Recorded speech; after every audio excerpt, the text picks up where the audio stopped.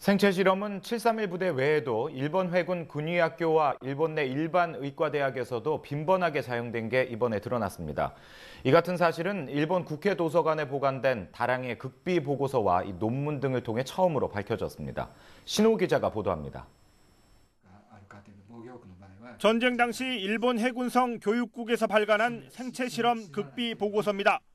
이페리트의 흡수 작용에 관한 실험 보고서로 사람의 피부를 썩게 만드는 겨자가스에 대한 실험 결과가 담겨 있습니다.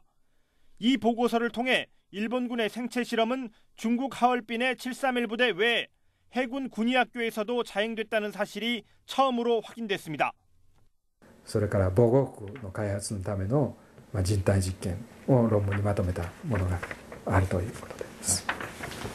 당시 일본에 의한 생체 실험은 일본 열도 내에 산재한 9개 제국대학 의학부에서도 자행된 것으로 전해지고 있습니다. 1945년 5월부터 6월에 걸쳐 규슈 제국대학 의학부가 격추된 미군 B-29의 승무원 포로 8명을 각종 수술로 살해한 일은 대표적인 사례입니다. 당시 의학부 교수와 학생들은 폐를 적출하거나 3차 신경 차단을 목적으로 뇌 수술을 하는 등 생체 실험의 도구로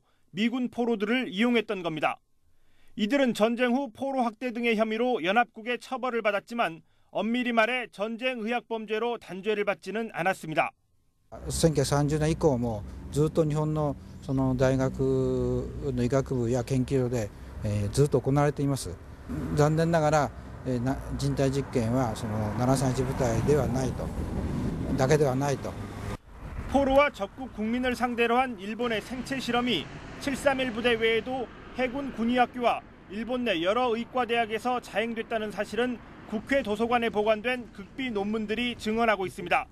하지만 일본 정부는 종전 69년이 지난 지금까지 731 부대의 존재는 인정하면서도 731 부대를 중심으로 군과 민간 의대에서 자행된 잔혹한 생체 실험에 대해서는 은폐와 부인으로 일관하고 있습니다.